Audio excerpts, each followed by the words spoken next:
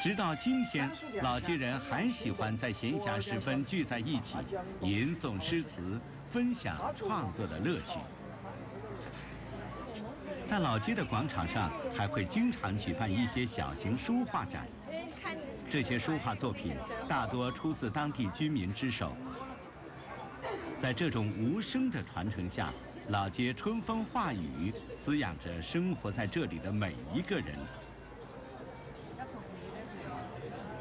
从丝绸贸易兴盛的西蜀小城，到享誉千年的诗书圣地，读书之风早已经深入到当地百姓的日常生活当中。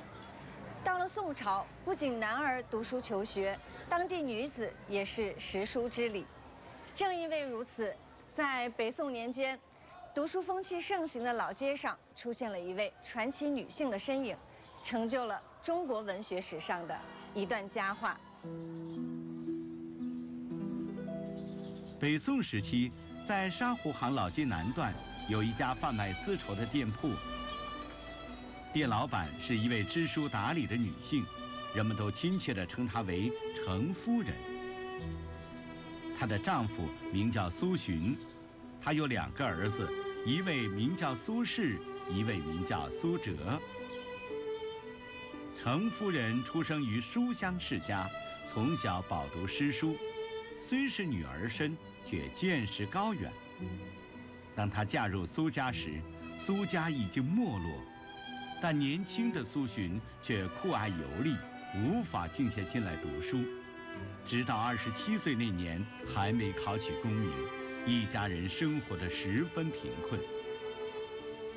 当时许多族人看不起苏洵，但程夫人却从不抱怨，尽心尽力操持家务，教育子女。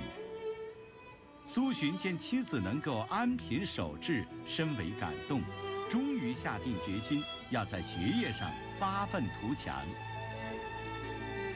有一天，他对陈夫人说：“我觉得我还是应该学习，但如果我学习，家里面一家大小的生计怎么办呢？”这时候，陈夫人对他说：“我等你这句话等了很久了。如果你真的想学，家里面的事儿，一家大小的生计全由我个人包了。”为了丈夫能专心读书，程夫人毅然挑起了一家人的生活重担。她变卖了自己的珠宝首饰，在沙湖行做起丝绸生意，随后买下了五亩宅院。